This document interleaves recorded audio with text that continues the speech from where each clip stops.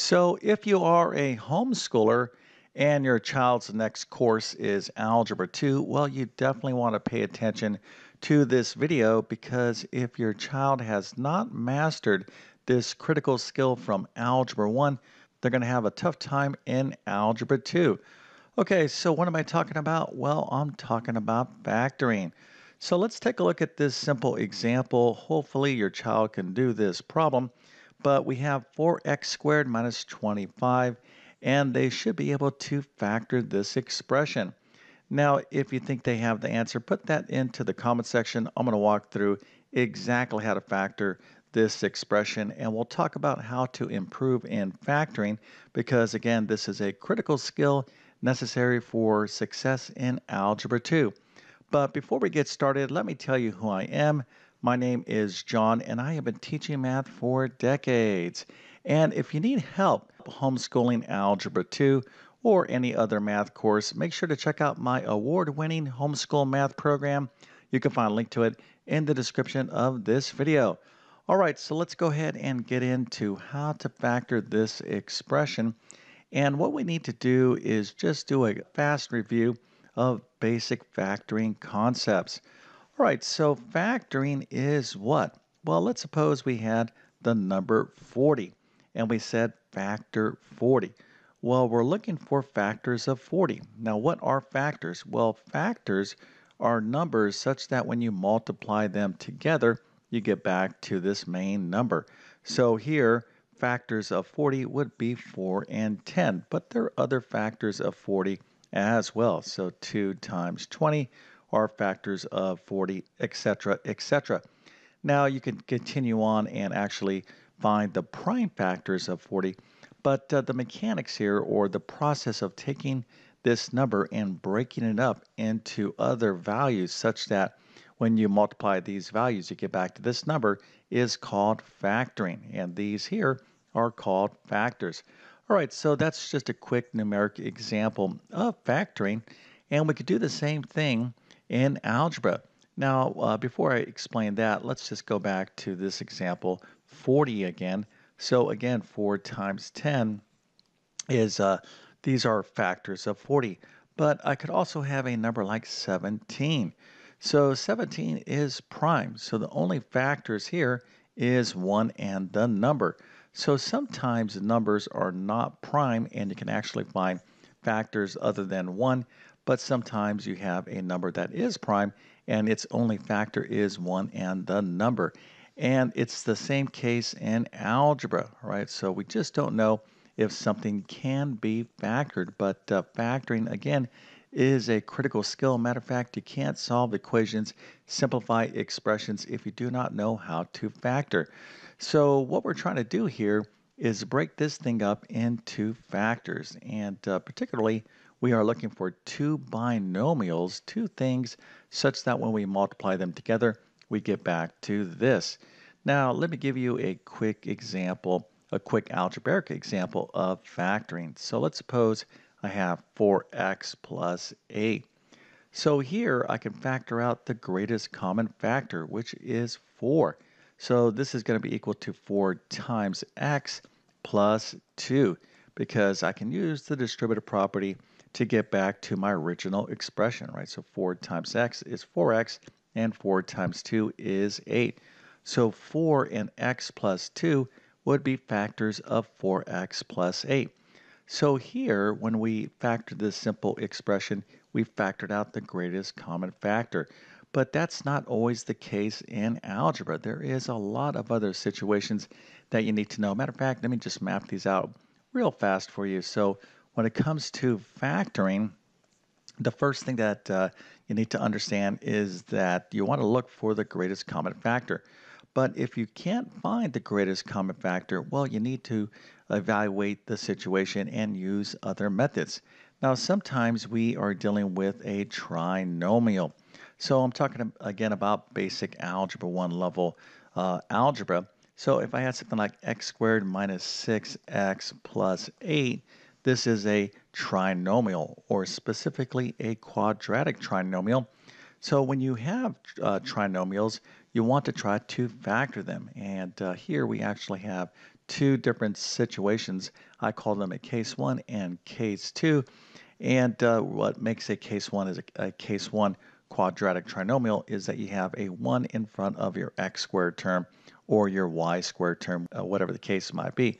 So again, this is a trinomial because it has three terms.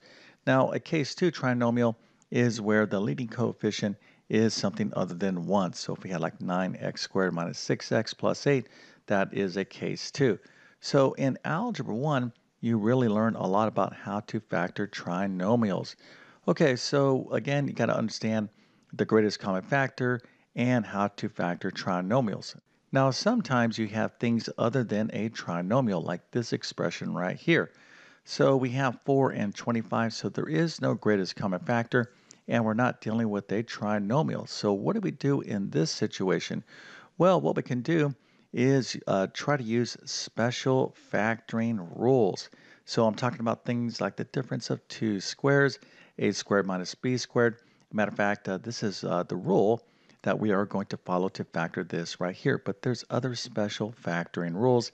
And then lastly, if uh, any special factoring rules don't work, you can try something called group factoring. All right, so these are all the things that uh, a person really needs to understand if they're going into the Algebra 2 level because you're expected to know how to factor pretty well in Algebra 2. Now, if your child had a tough time with uh, Algebra 1, it's likely because uh, they had a tough time with factoring. And of course, there's other reasons as well. But I can guarantee you, if you work on your factoring skills, if you get really strong in factoring, it's going to make everything much, much easier in algebra. All right, so let's go ahead and factor this. And uh, as I indicated, we have something that's not a trinomial. We don't have a common factor, and we don't have a kind of a group factoring situation, but we do have a special factoring scenario going on here. And that is we have the difference, i.e. we're subtracting something of two squares, right? So we have the difference of two squares. So the rule looks like this. So when you have a squared minus b squared, this is equal to a plus b times a minus b. All right, so this is the rule for the difference of two squares, but you got to know how to apply it, and let's go ahead and do that right now. Okay, so the first thing that we need to do is think of each of these terms here as a square. All right, so what number is, uh, what number square gets us back to 25? Well, hopefully you're saying, well, that's 5 squared. So again, what we want to do is think of these values as squares. So instead of 25, we want to think of this as 5 squared. And of course, we have our difference right there. Now, what is 4x squared? What gets us to 4x squared? What, in other words, what can we square to get us uh, back to 4x squared? Well, what you could do here is simply take the square root of 4x squared. So the answer is 2x because 2x times 2x is what? Well, that's going to be 4 x times x is x squared, so that's 4x squared. All right, so now that we're looking at our problem in terms of the difference of two squares, we can follow the rule and uh, actually get this thing factored. All right, so what is the rule again for the difference of two squares? I'll write it out right here. So a squared minus b squared is equal to a plus b times a minus b. All right, now in this situation, the a is 2x and the b is 5. So we need to just follow the pattern here very carefully and then we'll simplify. All right, so a plus b is what? Well, that'll be 2x plus 5. Okay, so again, our a here is 2x and our b is 5. So we're going to have a minus b which is 2x minus 5.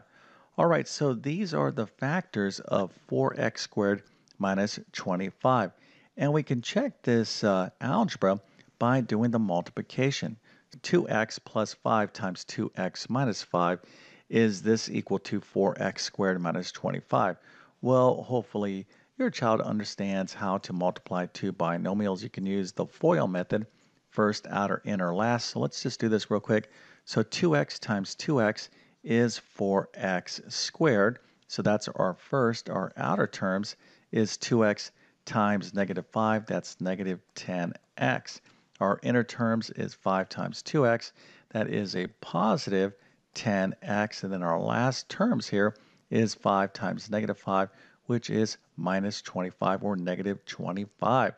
Okay, so you can see here our 10x's are going to go away. Negative 10x plus 10x is 0, so we're left with 4x squared minus 25, which is our original starting point, right? So these must be the factors because when we multiplied them together, we got back to 4x squared minus 25. Now I covered a lot of ground in this video because I really wanted to try to emphasize the importance of factoring because Algebra 2 is a critical course for your child. As a matter of fact, I'll leave you with this here. Typically, people take Algebra 2 in their junior year. So as a freshman or ninth grade, matter of fact, we'll do it this way. So here is high school level mathematics. You got 9, 10, 11, and 12.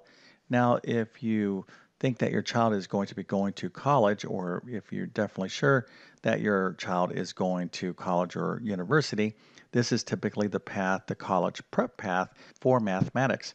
So in ninth grade, you take Algebra 1. In 10th grade, you take geometry. Okay, so this is the recommended path. And then 11th grade, you do what? Well, if you have Algebra 1 and geometry under your belt, if you will, if you have these courses already behind you, well, then you're ready for the SAT and ACT, which is typically uh, taken in the 11th grade. right? so if you do this track, Algebra 1, Algebra 2 in the 10th grade, and some people do this, I'm not a fan of this because in the 11th grade, if you take geometry, well, you're still learning geometry and taking the SAT and ACT during that year. Okay, about maybe about 50% or 40% of the SAT and ACT is geometry. So you got to get geometry behind you. All right, so again, this is uh, the, kind of the typical path. So Algebra 1, Geometry, Algebra 2, which is a continuation of Algebra 1. Effectively, in Algebra 2, you review everything in Algebra 1 and then learn more advanced algebra. So it's been, you know, it should be for most students that uh, they have taken geometry in between their algebra courses. So you need to take good notes and review, especially factoring. And then after Algebra 2, if your child is on the college prep track, uh, typically they'll take pre-calculus, or that is the best course, and that will get them ready to take calculus in college and a lot of majors actually require calculus, right? You'll be surprised if your child is going to um, maybe major in business or finance. Well, they will be taking some calculus. So they got to get that pre calculus down. So this is the typical college prep track. So I offer all these courses Algebra 1, Geometry, Algebra 2, and pre calculus, my homeschool math program is really focused for those uh, people that are going college bound. Okay, now again, you don't have to be going to college to be successful in my homeschool math program, but if that is your plan, well, I definitely know the math that your child needs to understand. Okay, so again, you can find uh, a link to my homeschool math program in the description of this video. So, with all that being said, I definitely wish you all the best in your homeschooling adventures. Thank you for your time and have a great day.